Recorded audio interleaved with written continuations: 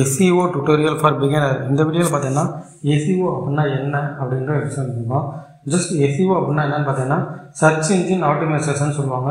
இந்த search engine ஆப்டிமைசேஷன்னா என்னன்னு பார்த்தீங்கன்னா உதாரணத்துக்கு கூகுளில் நம்ம ஏதாச்சும் ஒன்று சர்ச் பண்ணுறோம் அப்படின்னா நம்மளுடைய ரிசல்ட் வந்து டாப்பில் கொண்டு வருது.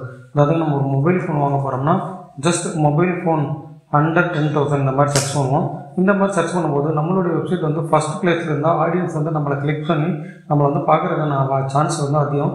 ஸோ இந்த எஸ்இஓட மேஜர் ரோல் என்னென்னா நம்மளோட ஆடியன்ஸ் வந்து இந்த கீவேர்ட் போட்டு சர்ச் பண்ணும்போது நம்மளுடைய வெப்சைட் வந்து மேலே கொண்டு வரணும்.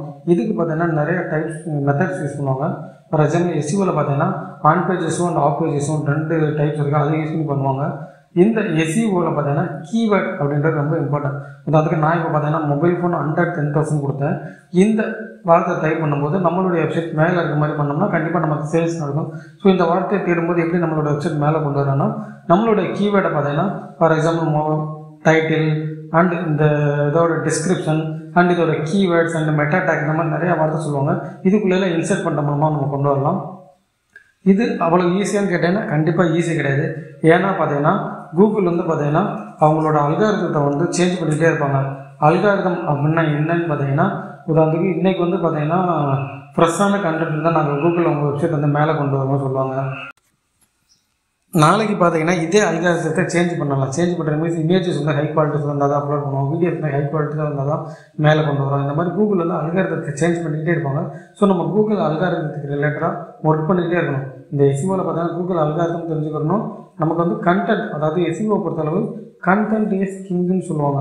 அது ஏன் பார்த்தீங்கன்னா நீங்கள் என்னதான் கீவேர்ட் சர்ச் பண்ணாலும் டைட்டில் சர்ச் பண்ணாலும் அந்த உள்ளே இருக்கிற கண்டென்ட் வந்து பார்த்தீங்கன்னா எப்பயுமே ஒரு ஆர்கானிக்காக இருக்கணும்.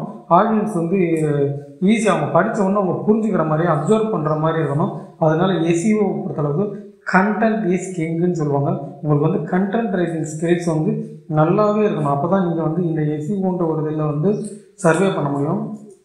ஸோ நான் ப்ரீவியஸாக சொன்ன மாதிரி இதில் ரெண்டு டைப்ஸ் இருக்குது on page SEO and off page எஸ்சிஓன்னு சொன்னேன். இந்த ஆஃப் பேஜ் எஸ்சிஓன்னு என்னென்னு பார்த்தீங்கன்னா நம்மளுடைய வெப்சைட்டை சோசியல் மீடியாஸில் ப்ரொமோட் பண்ணுறதா இருக்கட்டும் இல்லை அதர் ஃபோரம் பிளாக்ஸ் இதில் போய் ப்ரொமோட் பண்ணுறதா அந்த ஆஃப் பேஜ் ஆக்டிவிட்டின்னு சொல்லுவாங்க.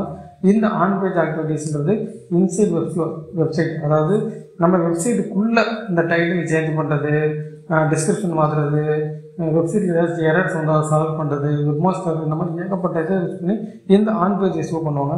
இந்த மாதிரி ஏகப்பட்ட டெக்னிக்கல் யூஸ் பண்ணி தான் இந்த எஸ்இஓ பண்ணுவாங்க.